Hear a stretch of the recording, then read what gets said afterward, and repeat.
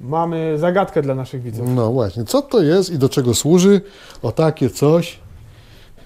Co Takie coś. poeta miał na myśli? Właśnie. I co tam ma być schowane w środku, że jest tak ładnie zgrzane i nie ma nic, pusto wszędzie, żadnych dziur, nic nie ma. A żeby zagadka była trudniejsza, to gdzieś tutaj jeszcze jest O, taka tam. sama druga. O, tam leży. No, jest druga, czyli dwa razy trudniejsza zagadka. No właśnie, ciekawe, czy ktoś nam na to pytanie odpowie. Do czego to może służyć? Będzie odpowiedź w dalszej części filmu, czy się po- trochę poznęcamy nad naszymi widzami? To zależy od ciebie. No dobra, przemyślimy to. Także co to jest i do czego służy, dlaczego tam nie ma żadnych otworów? Pyk.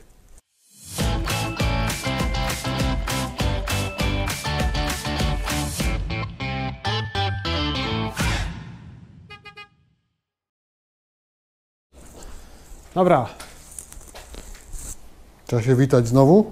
tak jest. Czy jako kontynuacja tamtego, co było poprzednio? No tak widać. No dobra. No, nagrywa się? Tak. Dzień dobry, bardzo znowu. Dzień dobry. Zaczynamy.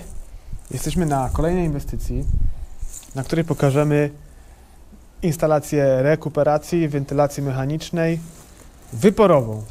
Jak to Marek nazywa? To jest właściwa nazwa, czy, czy wymyślona przez Ciebie? Nie, nie wymyślona. Ja to gdzieś czytałem, tylko to było 100 lat temu. Okej. Nie Czy rekuperacji wyporowej, tylko wentylacji wyporowej. Rekuperacja to rekuperacja, wentylacja to wentylacja.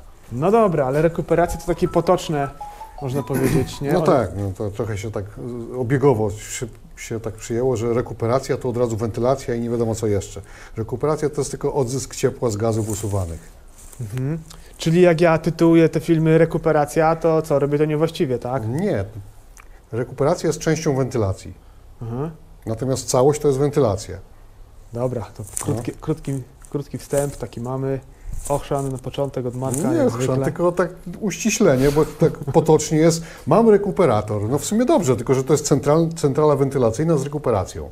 Tak powinno być. No dobra, ale jak ja w tytule dam centrala wentylacyjna z rekuperatorem, to z odzyskiem ciepła, wilgoci i tak dalej, to mi braknie miejsca, więc jak napiszę rekuperator, to mam... Ale ja nie szybciej, mówię, że nie? źle, ja tylko tak uściśliłem, bośmy tak jakoś zaczęli od tego No punktu. dobra, dobra, lecimy. E, mamy tutaj przejścia przez ścianę, dość duże. 315. Dlaczego tak duże, powiedz mi? No bo będzie kanał 250 plus izolacja, ale izolacja jest raczej przeciwakustyczna niż, e, niż termiczna, bo tu już są powietrze, tu już leci powietrze nawiewane i wyciągane z domu, więc dużego e, tam dużej różnicy nie będzie. Mhm. Skraplać się nie będzie. Za to jest fajny kanałek, flex, który świetnie tłumi wszystkie dźwięki. Urodzony tłumik. Do Flexa wrócimy. Tutaj mamy komin, pewnie podejrzewam, że będzie ym, instalacja gazowa w tym domu, tak? Ponoć tak. Nie wiem do, do końca, e, ale jak, jak rozmawialiśmy już z inwestorem, to chyba piec gazowy ma być. Kocioł gazowy. No, Teraz ja Cię poprawię. dobra. Dobra, y, rekuperator będzie tutaj wisiał, tak? Tutaj będzie wisiał na ścianie. Okej, dobra. Jaki to będzie rekuperator? Jeszcze nie wiadomo pewnie. Nie wiem, ale będzie duży. Dobra, powiedz mi teraz tak. y, Wróćmy do tych flexów. No. Dlaczego, dlaczego takie rury? No bo pierwsze, to będzie rekuperator więcej niż 500, to nie wiem, czy jakaś 700, 800, bo jest dużo rur. E, Ten dom ma tak trochę rury ułożone mm, dookoła, można powiedzieć, więc są długie odcinki, e, dlatego będzie troszkę większy rekuperator. No i co, no przejście, i przejście jest na czerp, nie, nie czerpnie wyrzutnia, tylko nawiew wyciąg. Tutaj sobie będzie szedł e, nawiew z grubą rurą. Tu będzie z tego zrobiony trójnik, będzie założony trójnik, bo tu jest nawiew i tam da, wyżej też idzie nawiew. Mhm. Natomiast wyciąg sobie pójdzie o tutaj, tu jest już skrzynka rozprężna na podłodze, tu wystaje. Ta rura spokojnie może tu leżeć, bo tutaj tynkarze się nie dadzą rady dosięgnąć, ma tu być nietynkowane, więc jej nie uszkodzą. No i na razie jest tylko tyle, że są, można powiedzieć, zwarta, żeby się tam nie syfiło do środka e, i sobie czeka. Dobra, ale ja Ci zadałem pytanie, dlaczego, dlaczego rury flexy, a nie, a nie sztywne? No bo po pierwsze, na, na flexach się łatwiej pracuje, Po drugie, świetnie tłumią dźwięki. Po trzecie, wychodzą taniej. Po czwarte, w tych aplikacjach nie są wcale gorsze. Można powiedzieć, mają więcej zalet niż wad. Okej, no to tyle w temacie, tak? Lecimy dalej. Tutaj za dużo nie zobaczymy, tylko takie otwory. I to są, tak jak się pewnie domyślacie, to są wyciągi. Tak, wszędzie wyciągi. Dobra, mnie tu zainteresowała tamta, ten otwór, Okap. bo mówiliśmy, że to będzie okap. Powiedz mi, powiedz mi, jak to w końcu jest z tym okapem? Bo niektórzy mówią, że nie powinien być włączany do y, instalacji wentylacji, tak? A u Ciebie on jest. Jest. Dlaczego? Dlaczego dlatego, tak jest? Dlatego, że no to tak na głupiego jak się włączy, no to faktycznie wyjdzie głupio, ale e, można sobie zrobić w ten sposób, że em, to, co wydmuchuje okap, musi połknąć rekuperator, bo inaczej, jeżeli on tego nie zrobi, to się poprzez skrzynkę rozprężną, e, rozdzielczą, przepraszam, rozejdzie po różnych wyciągach. Może tam walić gdzieś w garderobie frytkami albo, albo w sypialni. Więc podstawa to jest, żeby rekuperator był mocy co najmniej tej samej co e, okap, no i odpowiedni przewód, który da radę z okapu to powietrze przetransportować. No i rekuperator musi się w momencie otwarcia się okapu, czyli włączenia, musi wejść na swój maksymalny, e, maksymalną wydajność, aby to powietrze połknąć. A jeśli chodzi o tłuszcze, niektórzy się boją tłuszczy, to pierwsza rzecz, e, tłuszcz to jest takie tworzywo, tak to nazwijmy sobie, że e, ma taką właściwość, że ma bardzo, bardzo małe ciepło utajone, czyli bardzo szybko się skrapla. On z nadkuchenki jest odparowany, leci sobie w formie par, skrapla się na wszystkim, na co trafi, na kurzu nawet, który fruwa w powietrzu. E, mm, I no, oczywiście leci to w okap. Okap powinien mieć po pierwsze nie filtr, bo to jest zła nazwa, to jest skraplacz. To, co na okapie jest na spodzie, ta taka siateczka, to jest skraplacz, a nie filtr, bo jak się popatrzysz, to tam oka to są dużo większe niż, e, niż cząsteczka tłuszczu, żeby miało cokolwiek filtrować. To na tym ma po prostu tłuszcz ciąść, skroplić się i zostać. I potem sobie można umyć gorącą wodą pod kranem. E, Ale to jest takie urządzenie nie za bardzo to tak dokładnie filtrujące i tak kupa tłuszczu leci sobie dalej. No ale dalej jest turbina w okapie, która jest przeważnie promieniówką, ma bardzo duży stosunek powierzchni łopatek do ilości przetłaczanego powietrza i praktycznie można powiedzieć, że ta turbina filtruje już do zera. Tak można było powiedzieć. Czyli cała reszta tłuszczu siada na tej tur- turbinie. Ona będzie wiecznie włochata, wiecznie zasyfiona, e, ale dokładnie tak samo wygląda, jak okap jest nie wpięty w wentylację. Dokładnie jest tak samo zasyfiona. E, Kanał dalej jest, można powiedzieć, czysty. E, Z autopsji mogę to po- potwierdzić e, na, na, u, kilku, u kilku odbiorców, ale taki eksperyment pierwszy wykonałem sam u siebie. Co jeszcze mam kuchenkę gazową, która to wywołuje dużo większy, mm, e, dużo większy strumień konwekcyjny porywający tą, tą, e, tę- tą, tą parę tłuszczy. Czyli inaczej mówiąc, kuchenka gazowa generuje, nie generuje, ale powoduje dużo większą, e, ja wiem, no, eksplozję tego tłuszczu, kuchenka e, gazowa, bo tam jest ogień, są spaliny, gorące spaliny, które porywają ten tłuszcz i pchają wszędzie. Dlatego indukcja dużo mniej tłuszczu e, generuje. No i, e, i ja mam tu u siebie kuchenkę gazową, zrobiłem sobie to w ten sposób i działa to dokładnie tak jak mówię. Syfi się to, co się ma syfić, natomiast kanał, chyba mam już go to w ten sposób ze 13 lat, to nie wiem, najwyżej Cię zaproszę, to zrobisz e, ujęcie kanału w środku. I to nie jest tak, że ja go czyściłem wczoraj. Nie czyściłem, bo mi się nie chce. Tam nawet nie za bardzo jest po co zaglądać. Zresztą, jakby się ktoś jeszcze bał, to są te filtry stożkowe, które można sobie kupić w termokontrolu, nie? Wiesz, które są takie, Tak takie stożki. Można sobie też wrzucić w kanał, ale teraz e, mm, inne można coś poruszę taki temat e, związany z tym. Co się bardziej syfi? Czy taki, e, taka rura w okapie, czy taka rura zwykła wyciągowa w kuchni? Masz kuchenkę gazową, która, z której spaliny razem z tłuszczem i tak ci buchają pod sufit, prawda? I włączysz okap, no to ciągnie ci okap, ale nie włączysz okapu, to i tak ciągnie ci wentylacja. I teraz ile czasu w tygodniu, powiedzmy, ciągnie ci okap, a ile czasu ta wentylacja? Może się okazać, że bardziej zasyfiony może być kanał ten wentylacyjny niż z okapu. Może tak być. Dlatego ja się tego nie boję.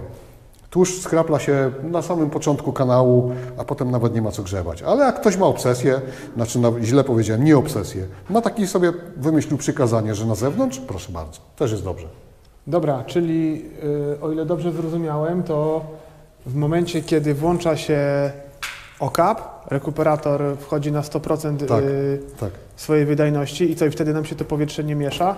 Ale w rekuperatorze się nic nie miesza. Nic się nie miesza. No, wyciągowe powietrze idzie sobie kanałami wyciągowymi do wyrzutni, a powietrze z czerpni no, do nawiewów. Co się tam ma mieszać? To, że jest okap wpięty, to jest jeszcze jeden wyciąg.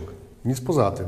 Tyle tylko, że jak, jak turbina w okapie podaje powietrze, to stosunek, stosunek podciśnienia w kanałach wszystkich wyciągowych się zmienia. Bo tak to jest prze, przeważnie jest podobny, bo mamy jeden rozdzielacz, na przykład centralny na cały dom, gdzie mniej więcej to podciśnienie się rozchodzi na wszystkie kanały, a tu się nagle warunki zmieniają, bo w jednym kanale z podciśnienia się robi ciśnienie, prawda? Nadciśnienie. I w tym momencie te wyciągi przestają praktycznie pracować. Cała reszta chałupy przestaje pracować na korzyść właśnie tego, e, tego, e, tego okapu. No oczywiście jak ktoś pójdzie do klopa w tym momencie, no to utrudnione działanie ma rekuperator. Ale mówię, rekuperator tutaj ma być większy niż standardowo. Tu będzie jakieś 700, coś takiego, 800 e, i najprawdopodobniej też obrotowy. Najprawdopodobniej. Tylko mówię, nie wiem jeszcze, bo nie wiem do końca, czy on będzie na ścianie, czy będzie na suficie na przykład, prawda? E, I e, no taki ma być. I to ma być właśnie sprzęgnięte z okapem, ma być sprzęgnięte z kominkiem, tak samo, też funkcja taka w okapie, nie w okapie, tylko w rekuperatorze. E, Także jak sobie gość włączy kominek, to sobie będzie podkładał, jak sobie włączy okap, to będzie mu pracował okap. No, któraś funkcja musi być nadrzędna, prawdopodobnie okap. W tym domu nie ma klimatyzacji. E, Na razie, natomiast dostałem pytania, jaka.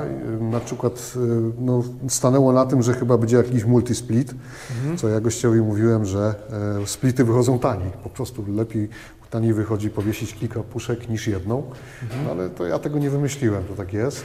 E, Natomiast czy będzie docelowo, to tak, ale na pewno gość mówi, nie za bardzo chce kanałówkę. Dobra, lecimy dalej. Lecimy dalej, to jest rozwiązanie naszej zagadki z początku filmu. No, to Opowiadaj. takie coś. Czyli mamy takie lustro tutaj w No, korytarzu. właśnie, że gość jak chodzi, to lubi się przeglądać i to jest właśnie po to. No, a tutaj jest jest drugie drugie. wyżej, bo schody idą wyżej, więc jest drugie lustro wyżej, żeby nie tracił kontaktu z odbiciem. Nie no, tak na serio, opowiadaj nam, co, co, co, co tu poeta miał na myśli? To Dwie takie wiesz, skrzyneczki. O, o, o, ozdobnictwo wewnętrzne, żeby to nie było taka monotonia cegieł, tylko, tylko Mhm. taką, wiesz, no jakieś tak, coś, jakaś taka mała zmiana. Tak, jasne. Nie, to są właśnie puchy nawiewne, do Mhm. nawiewu, do wentylacji wyporowej. Z tej strony są pełne, jak, jak tam pokazywaliśmy wcześniej, z drugiej strony też były pełne, ale już nie są.